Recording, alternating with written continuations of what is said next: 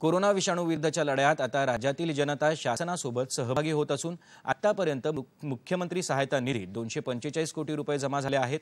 Corona विषाणू विरुद्ध लढताना आपली एकजूट सहकार्याचे हात आणि मोलाची साथ अपेक्षित आहे अशी भावना मुख्यमंत्री उद्धव ठाकरे यांनी व्यक्त केली होती.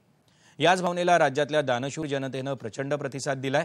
मदतीचे धनादेश वस्तू अन्नधान्याचा पुरवठा गोरगरीब अडकून पडलेल्या जनतेच्या जेवणाची व्यवस्था अशा नानाविध स्वरूपातून मदतीचे हे हात पुढे येत आहेत. मुख्यमंत्र्यांनी या सर्वांचे आभार मानलेत. कोरोनाचा प्रादुर्भाव रोखण्यासाठी राज्य शासन काटेकोर उपाययोजना करतंय. या जागतिक संकटाचा मुकाबला करण्यासाठी आपलं योगदान म्हणून सर्व विद्यापीठांनी मुख्यमंत्री सहायता निधीसाठी मदत करावी असं आवाहन उच्च आणि तंत्रशिक्षण मंत्री उदय सामंत यांनी केलं होतं. याला सकारात्मक प्रतिसाद देऊन यशवंतराव चव्हाण मुक्त विद्यापीठाकडून दहा कोटी रुपयांचा निधी मुख्यमंत्री सहायता निधी कोविड एकोणीससाठी देण्याचं निश्चित केलं आहे अशी माहिती उदय सामंत यांनी दिली.